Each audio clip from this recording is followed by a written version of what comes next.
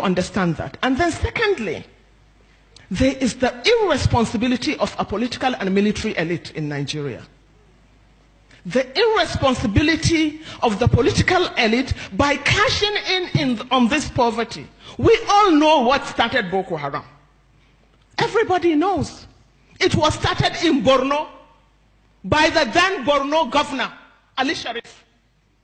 He is still roaming the streets freely. When, when, when, when, when uh, the, the, the Yusuf, Yusuf was caught alive. Who created it? The ECOMOG. Who created the ECOMOG?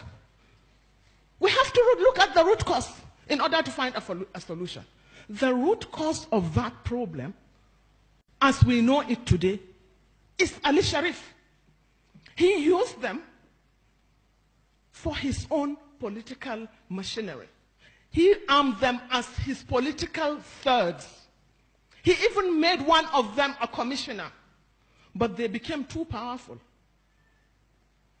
And they had no option but to try an elimination, which was not possible and which we are all paying for.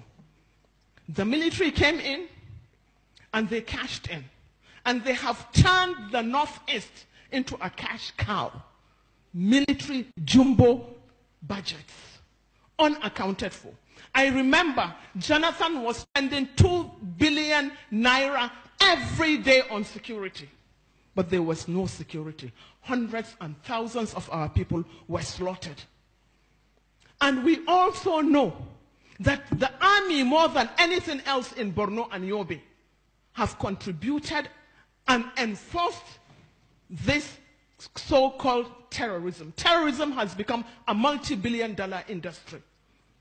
It is a multi-billion dollar industry.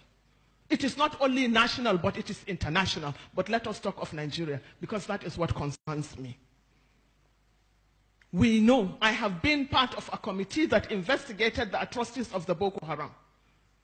And that committee indicted the military more than anything else.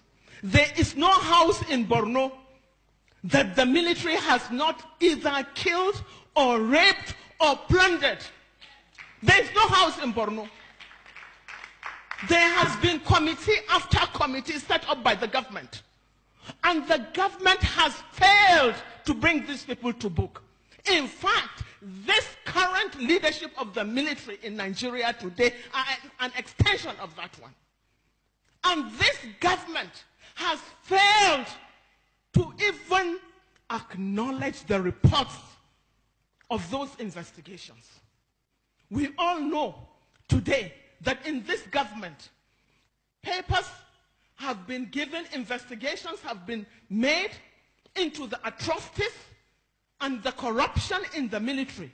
We all know today that the Air Force, we, we, the, the, the papers or the investigation of the Air Force has been made public.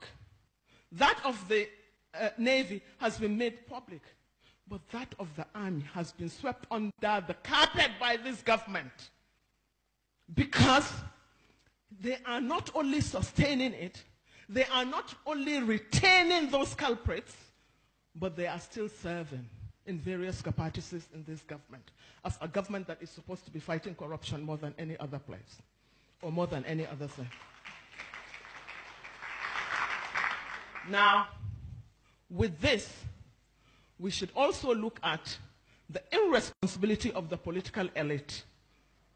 The political elite in this country have done nothing but to cash in on this poverty, on this ill education of the mass majority of Nigerians. They use them, they have used you and turned your psyche into slaves, slaves of religious and ethnic manipulations. No one has ever seen the son of a governor even going out to campaign.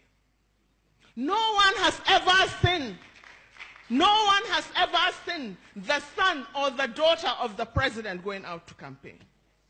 And no son of even a councillor, not talk of a senator or a chairman or a governor that has been abducted or that has been slaughtered on the streets. But the idiots that call themselves the, the masses allow themselves to be used through religion or ethnicity to divert attention